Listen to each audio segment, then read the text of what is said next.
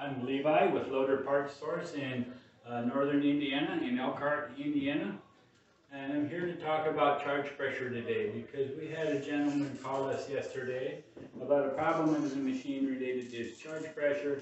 And in explaining it, I realized even some of our own people here don't really understand it as good as they could. So I'm going to jump in and talk about how charge pressure works in your hydrostatic transmission, specifically in a tandem hydrostatic transmission, like a skid steer loader that has a right side and a left side. But this is just generic information that's good across the board for anything hydrostatic.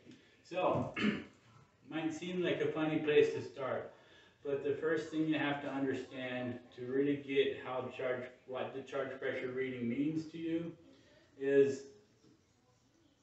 flow is not pressure. When you have flow, that doesn't equal pressure.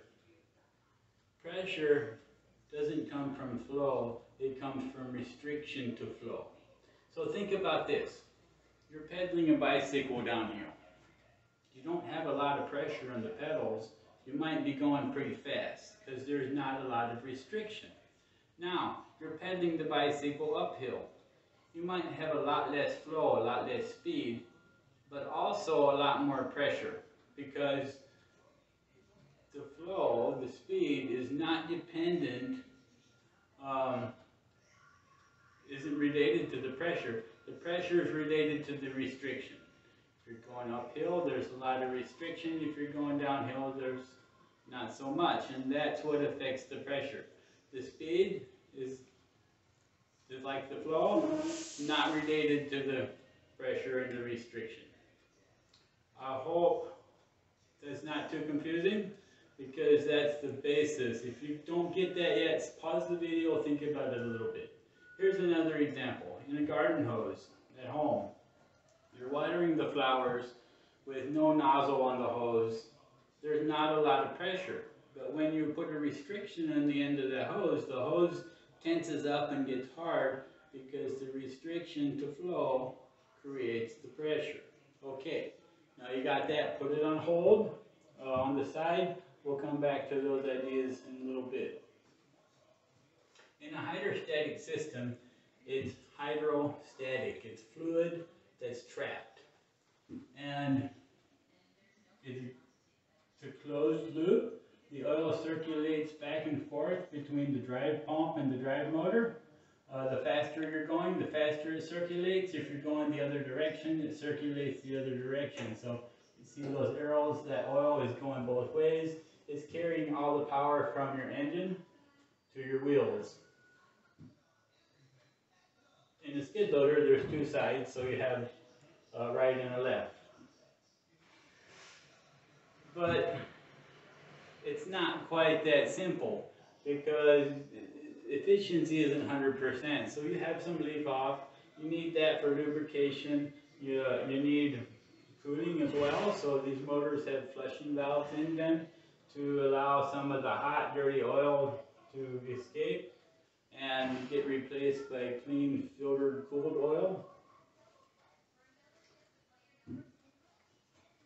So I want to talk about the charge system.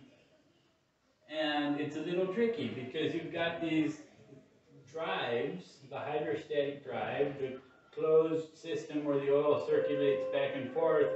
Some of it leaks off. That leak off oil is replenished by the charge system.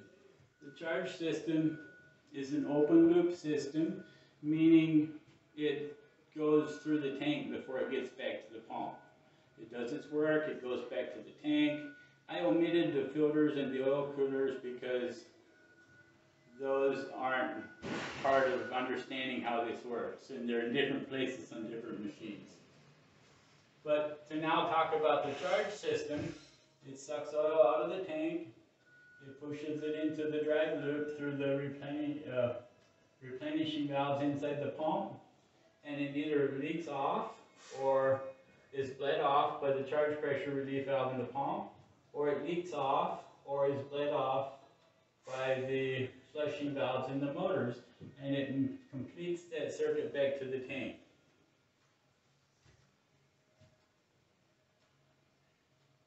You get it? I think you guys got it.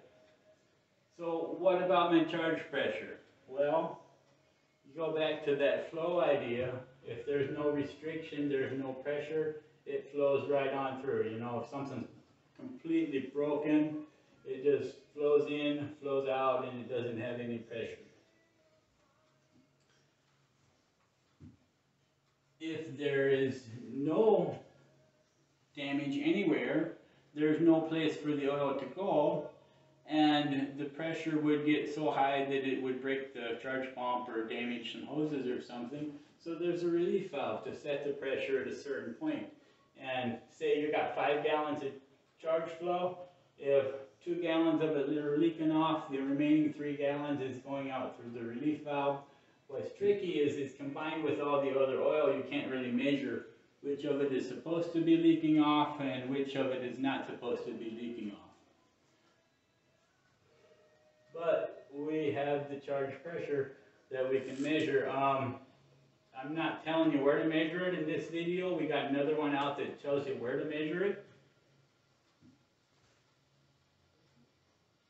What I am trying, the point I'm trying to make is the more restriction you have to your charge flow, the higher your charge pressure is up to the relief valve setting. And if there's damage somewhere in the system that decreases the restriction to flow, it escapes to the tank and it lowers your drive pressure. So what we do when we're diagnosing a transmission is we pinpoint where the leak off is happening. Is it happening in the pump? Is it happening in the motor? Is it happening on the right side or the left side? Is it happening in forward or reverse? And then we can have a very good idea, seldom 100%, a very good idea on which component should be replaced. Or is there just a simpler problem perhaps? That saves a lot of money in shipping and replacement costs and a lot of downtime. So it's very helpful for us to get this right before we start taking parts off. So now, going back and sitting inside your machine, whatever symptoms it has, I don't know, we haven't talked, but you've got a charge pressure gauge hooked up. Your the machine is running, you have the charge pressure reading, and now we're going to see what affects the charge pressure reading. What makes it go down? If you move your right hand lever forward with the parking brake set, or if you don't have a parking brake, maybe you just uh, run it into a pile of dirt or something, that increases your drive pressure. If there's damage inside the pump or the motor and the drive pressure increases, more oil leaks off through those damaged areas. When more oil leaks off, there's less restriction to charge pressure, charge flow, and there's lower charge pressure. That's your clue. Hey, when I push the lever forward on the right side, the charge pressure drops. When I pull it in reverse on the right side, and the charge pressure drops at the same point, but it doesn't do it on the left side, then you know there's a problem on the right side. You still don't know if it's a pump or a motor problem, but you know it's a problem. So what we typically do then is we disconnect the motor hoses, put plugs in here, and if the pressure stays up when we re redo the test, pushing the lever forward or reverse, the machine thinks the brakes locked because the oil can't go anywhere, the wheel can't turn, and it's how it feels to the machine.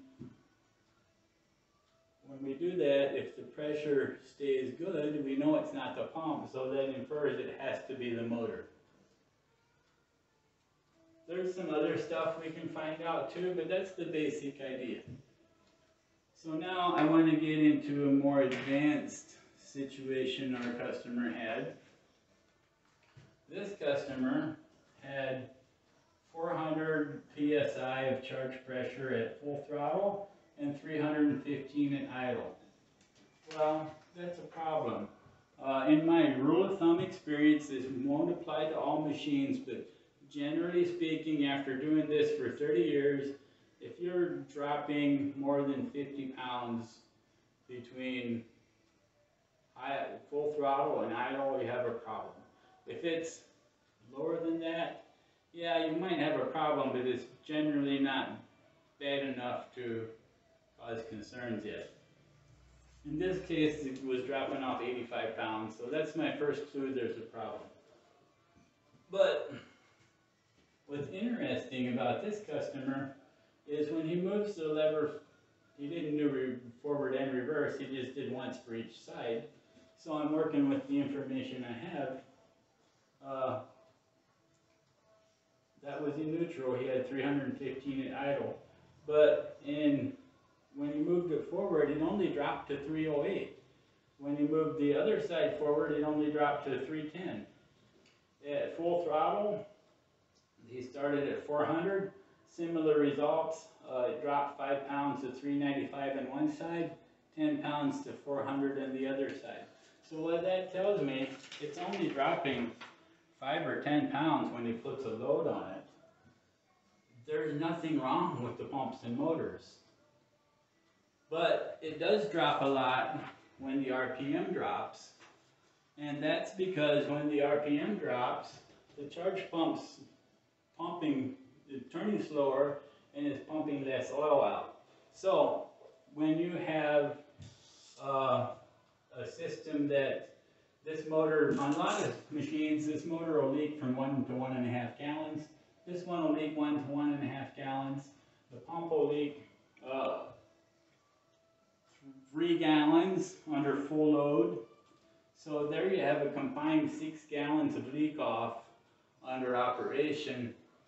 If the pump's putting out seven gallons, everything's good. The relief valve's open, everything's good. But when you idle the machine down and to where you have six gallons or less, that's where your charge pressure stops to drop, or starts to drop. So what happened to this guy that really tripped him up is he had, he hadn't checked his, I don't know how much he checked, but we hadn't talked about his charge pressure this much yet.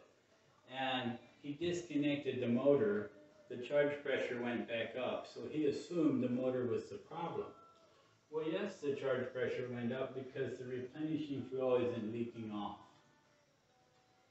If he would have connected it back up and disconnected the other motor, I believe the same thing would have happened. The charge pressure would have went back up.